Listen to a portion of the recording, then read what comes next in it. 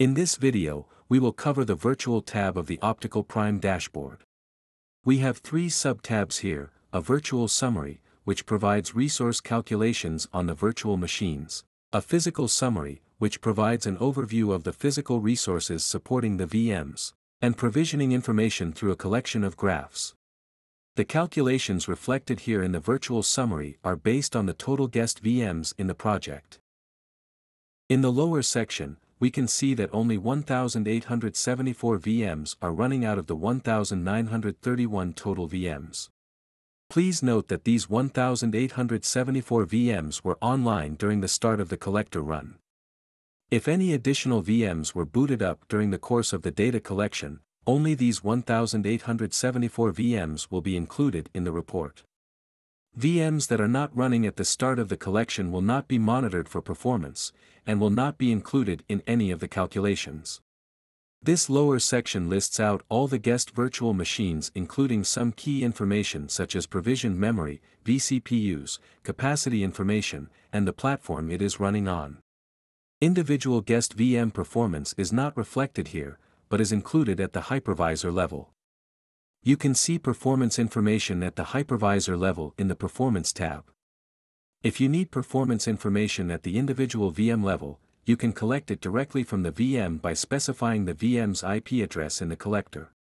To avoid any double counts, we suggest collecting data from individual VMs in a separate project. Let's move to the physical summary. This page provides information on the physical environment hosting the virtual machines where we can see that the 1931 VMs are hosted across 45 hypervisors. Let's look at the provided graphs. Here, we have the VM resource distribution graph. We can see that 149 VMs are outliers, and these are the total resources allocated to these outliers. Outliers are those virtual machines whose resource threshold is above the 95th percentile. The next graph is the provisioning contrast graph. You can view this graph either as vCPU over memory, vCPU over capacity, or memory over capacity, etc. We have here the vCPU over memory graph. The light-colored line above 0 represents vCPU, while the darker line below 0 represents memory.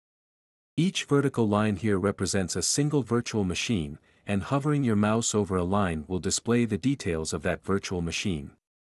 The VMs are sorted with the highest on the left and the lowest to the right, by the first property, in this case, by the number of vCPUs.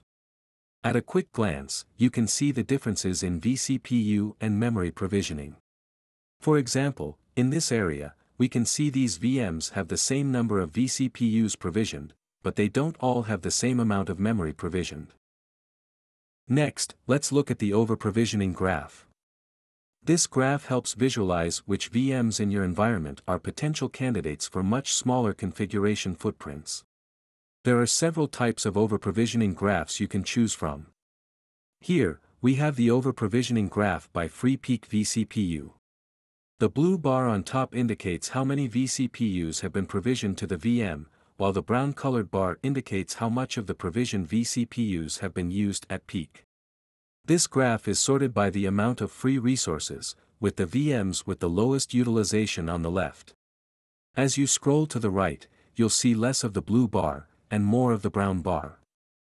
Meaning these VMs towards the right are using up more of their assigned resources compared to the ones on the left. The gray bars on the right are a good example of where usage consumption for these VMs was not obtainable. There are several possibilities for this. Either the VM is offline, or VM Tools is not installed, or the VM is not a VMware VM. This concludes our overview of the Virtual tab in the Optical Prime dashboard. Feel free to look through each of the graphs in your projects as these provide a lot of insight into the virtualized environment and can help you optimize. Thank you for using Live Optics.